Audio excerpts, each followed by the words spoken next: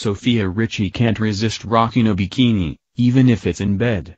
The model shared a photo of herself on December 21, where she enjoyed some R&R while dressed in a Frankie's top and matching floral shorts.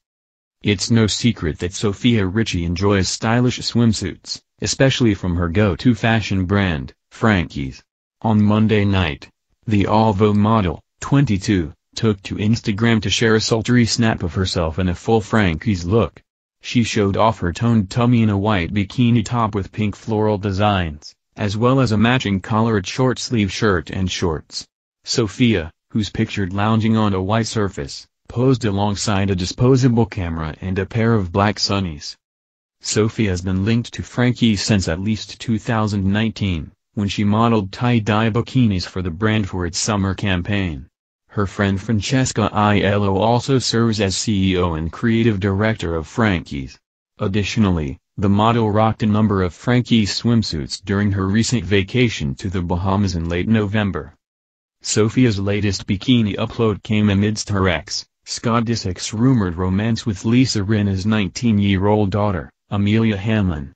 The two first stepped out together at a Halloween party on October 31, which was the start of a string of public outings and PDA moments together.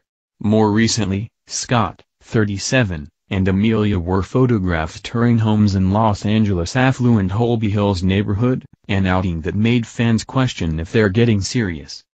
For her part, Sofia appears to be single following her fizzled fling with Cha Cha Matcha co-founder Matthew Morton, 27.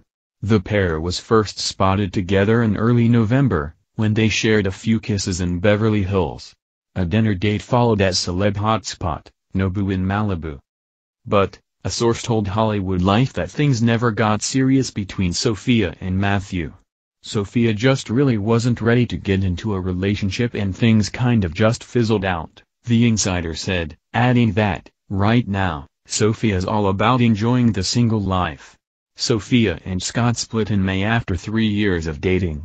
They first got together at the Cannes Film Festival in France in May 2017.